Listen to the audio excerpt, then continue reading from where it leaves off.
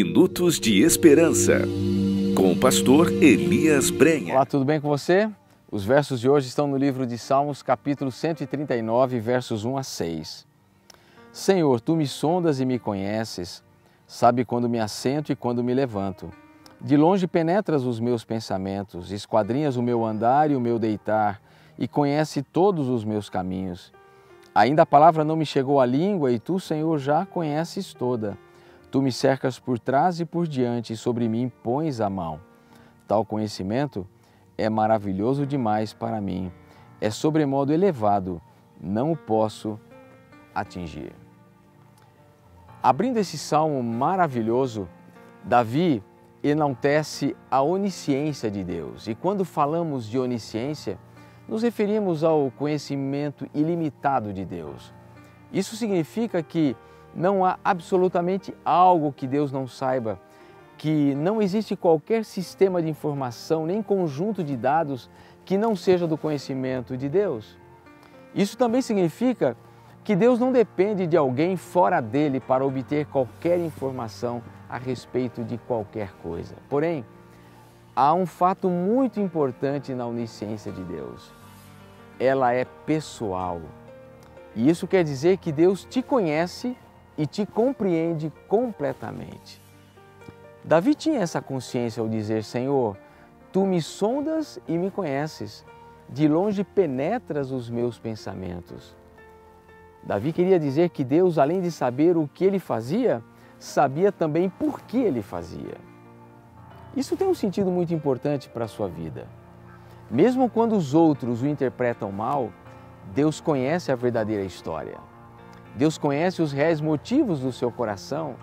Ele não apenas conhece as suas ações, mas ele conhece as suas verdadeiras motivações. Sabe o que isso quer dizer? Quer dizer que ele sabe se os seus pedidos são sinceros, ele sabe se os seus pedidos são necessários, ele sabe se as suas necessidades são reais, e ele sempre agirá de acordo com as motivações e pensamentos que estão por trás do que você faz. É por isso que ele nunca encolherá a sua mão para atender a sua necessidade se ele souber que ela é real, necessária e se ela for contribuir para a sua salvação. É por isso que muitas vezes não recebemos tudo aquilo que pedimos ou desejamos, porque ele sabe de todas as coisas e conhece se realmente somos sinceros. Ele nunca vai nos dar aquilo que ele sabe que não vai contribuir para a nossa felicidade, mesmo que naquele momento a gente chore e sofra como uma criança que não compreende quando o seu pai lhe diz não. É por isso que às vezes ele nos faz esperar um pouco mais, porque ele sabe que aquele não é o melhor momento, não é a melhor hora, não é o melhor momento para nos oferecer aquela bênção que estamos pedindo, seja ela emocional, financeira, física ou profissional. Em muitos momentos, pela nossa limitação e finitude, nós não entendemos isso, mas como lemos no livro Caminho a Cristo, página 96, Deus é sábio demais para errar e extremamente bom para deixar de conceder o melhor aos que andam em retidão.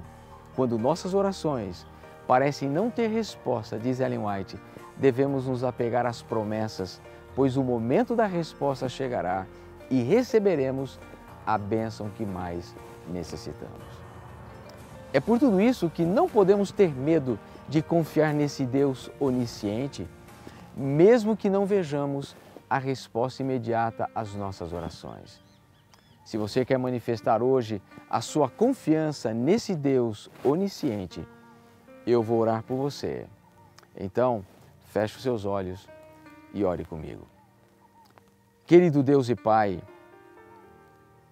é maravilhoso saber que o Senhor é onisciente, que o Senhor nos conhece não apenas por aquilo que fazemos, mas o Senhor conhece o nosso interior, conhece as nossas intenções e as nossas reais motivações.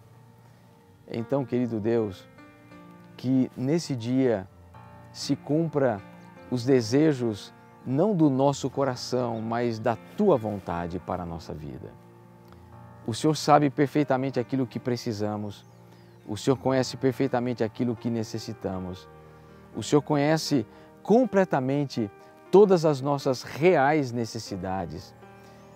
E sabe, sobretudo, Pai, o momento certo de nos oferecer, de nos conceder a bênção que necessitamos. Então, o que queremos hoje é nos entregar em tuas mãos, com a certeza de que o Senhor não encolherá as tuas mãos e os teus braços na tentativa de negar aquilo que o Senhor sabe que é para o nosso bem, que é unicamente para satisfazer as nossas mais profundas necessidades. Então, Senhor, nos colocamos em tuas mãos mais uma vez e oramos agradecidos no nome sagrado e poderoso de Cristo Jesus.